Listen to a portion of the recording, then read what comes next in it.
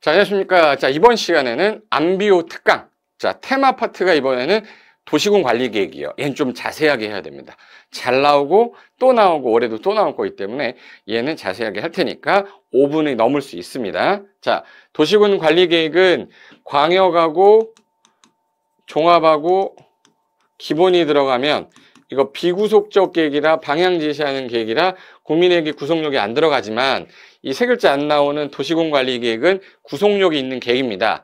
구속력이 있는 계획이다 보니 얘는 수립이란 말을 일반적으로 입안으로 바꾸는 경우도 있고 입안하고 수립은 혼용한댔죠. 단 입안에서 결정하는 절차로 가는 거고 주민 의견 청취 절차가 좀 다르다. 그리고 효력 발생이 되면 행위 제한에 관련된 것들의 효력이 발생하게끔 된다. 그 정도만 일단 아셔도 돼요. 자, 일단 이번에는 구체적 집행을 위한 거라 관리 계획은 도시를 대상으로 하는데 한 개의 도시의 구체적 집행 계획이에요. 그래서 얘는 수립이란 말도 쓰지만 주로 무슨 단어를 더 많이 써요? 입안에서 결정하는 절차다. 음, 입안하는 사람이 제일 먼저 얘도 똑같이 기초조사해야 되죠. 인구, 경제, 사회, 문화 조사한다. 이거는 광역도시 계획을 그대로 준용하는 건데 얘가 수립이 돼, 기초조사가 되면 얘는 구속력이 들어가기 때문에 공청회 하면 안 돼. 와서 봐라라고 뭐 해야 돼요? 공람 절차가 져야 돼요. 그래서 주민 공람을 14일 이상 기간 동안 주고 요때 안 오면 지방의회 의견을 듣겠다. 그래서 입안이 되면 보내겠죠. 보내면 협의하고 심의 거쳐서 결정하고 고시해요. 근데 고시하면 바로 효력 발생하는 게 아니라 고시된 내용을 지적이 표시된 지형도에 그려야 돼요.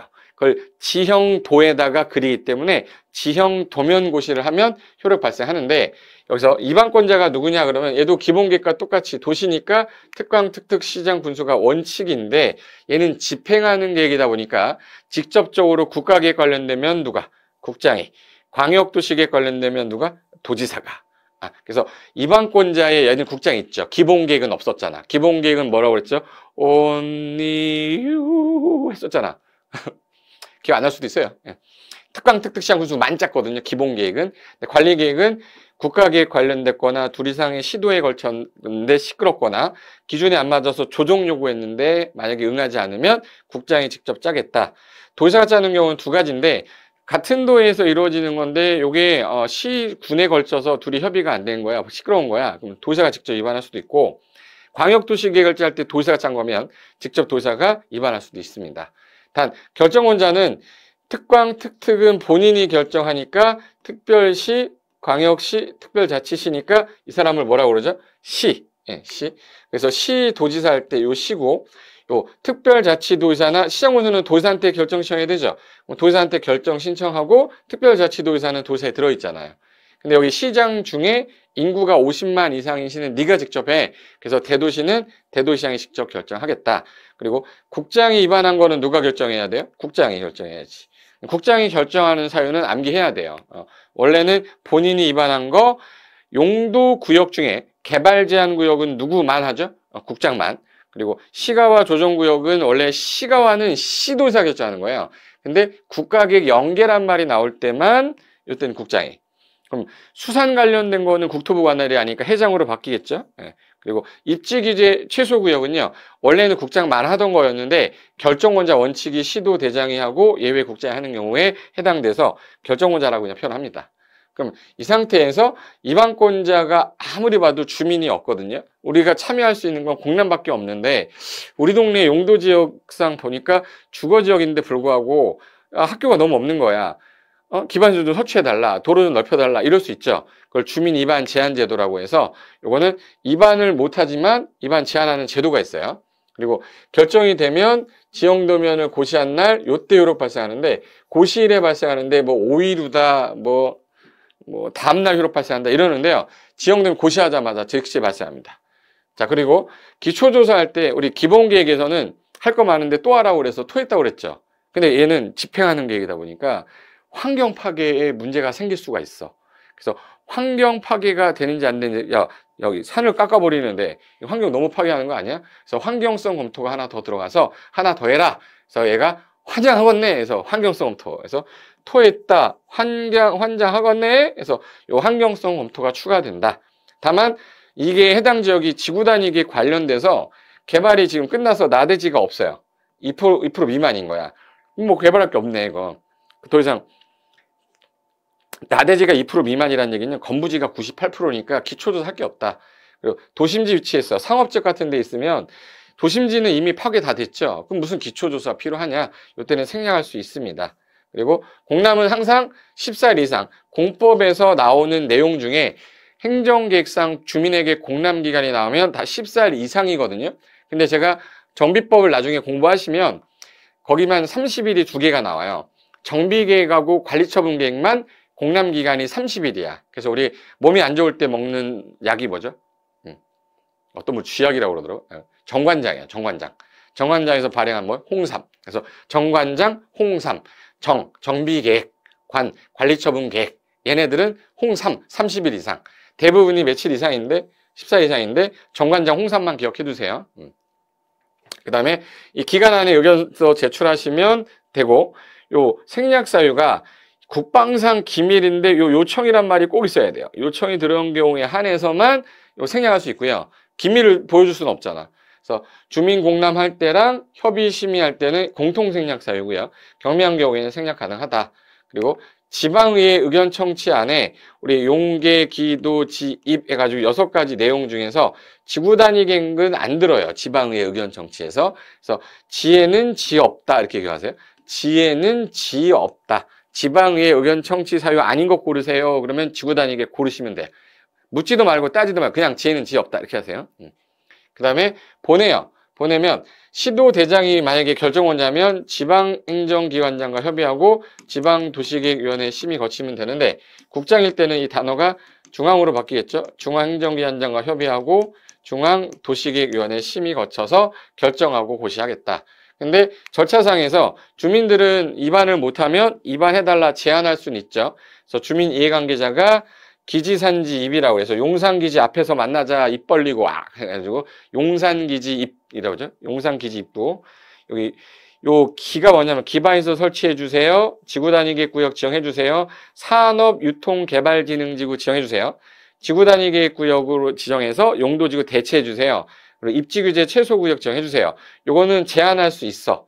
단 제한에 따른 통보는 45일 안에 해주되 부득이하면 연장해서 30일 안에 연장해주고 타당한지 안 한지 반영할지 말지를 모르겠다 그러면 도시계획위원회에 가서 자문 거쳐서 통보해주겠다. 최대 75일 안에 해주겠다. 대신에 입안에 들어가는 결정에 들어가는 비용의 전부 또는 일부 네가 좀 부담할래? 그랬더니 안녕히 계세요. 안 됐죠. 그래서 비용 부담이라는 게 있다. 근데 제한할 때 개나 소나 다 제한하면 문제 생기잖아요. 그래서 요 개나 소나 다 제한하지 못하게 하려면 비용 부담을 시키라고 나온 거예요. 그리고 기지산지 입중에서 기반시설은 돈이 많이 들어가. 그래서 얘는 면적 5분의 4 동의 얻어오되 나머지는 나머지 네 가지는 3분의 2다. 그래서 5분의 4 정도는 외우고 계셔야 된다. 그리고 여기 심의할 때 공동심의라는 게 나오는데 공동심의, 공동심의 뭐냐면 자 이거 좀 지울게요. 원래 이 내용 자체가요. 자, 이 지구 단위계 관련된 내용은 건축 계획이에요. 건축 계획이다 보니까 건축위원회가 끼어들어요. 그래서 원래는 도시계획위원회 심의 거쳐야 되는데 지구 단위 관련된 내용은 누구랑 건축위원회랑 공동으로 심의한다. 이거 하나 특이한 거 기억하시면 되고 그리고 최근에 개정되면서 지구 단위 원래 시장 군수가 위반하면 도지사한테 결정 신청을 하는 거예요. 그런데 시장 군수가 위반한 지구 단위 계획은요 결정도 시장 군수가 빨리빨리 진행하라고 권한 줘요. 그래서 원칙은 시도 대장인데 시장 군수가 결정하는 경우도 있습니까? 네, 있어요. 뭐예요? 지구 단위계 관련돼서 시장 군수가 위반하면 빨리 진행하기 위해서 시장 군수가 바로 결정해서 진행하겠다. 이거 조심하시면 되고. 그리고 지형도면을 그럼 누가 그릴 거냐면 기초조사 한 사람이 그려야 될 거 아니에요? 기초조사 누가 했죠? 입안권자가. 그럼 지형도면은 입안한 자가 그리는 건데 원칙이 특광 특특 시장 운수가 그리는 건데 여기 중에 급수 제일 낮은 사람이 누구죠? 시장운수. 그래서 시장운수만 도사한테 승인 신청을 하면 결정된 내용하고 지형도하고 대조했는데 착오 없어. 30일 안에 승인해준다고 되어 있습니다. 30일 안에 승인해주면 요 승인한 거 갖고 지형도면을 뭐 하면 고시하면 요때 효력 발생하는 거예요. 요까지가 도시공 관리 계획이 조금 많죠. 근데 가능성이 제일 높아요. 싹 지어보겠습니다. 아 그리고 특이한 거는 여기 저 하나 보고 갈까? 여기 얘는 주민에게 구속력이 있는 계획이라서 행정쟁송은 제기할 수 있죠. 왜? 처분에 대해 이의가 있으면. 얘는 입안에서 결정하는 절차다 보니까 효력이 발생한다. 이 효력 발생은 언제냐? 지형도면 고시한 때. 기득권 보호라는 건 결정될 당시에 이미 사업을 하고 있던 사람들은 계속하게 해주는데 이게 시수 삼신 외우라고 그랬죠. 시가와랑 수산자원 보호구역은 요거 삼신, 3월 내 신고해라. 해서 시가와 수산자원 보호구역은 3월 내 신고할 것. 내용이 용계, 기도, 지입 이 여섯 가지인데 요거를 사다 보면 도시공개 시설 사업 시행자는 공익사업 시행자라 시행자 보호 규정이 좀 많이 나오고요. 시행자 보호 규정. 그리고 토지 소유자 보호하기 위해서 매청구 제도가 좀 잘 나온다. 요게 그 도시군 관리의 핵심 키다. 이 정도만 잡아두시면 되겠습니다.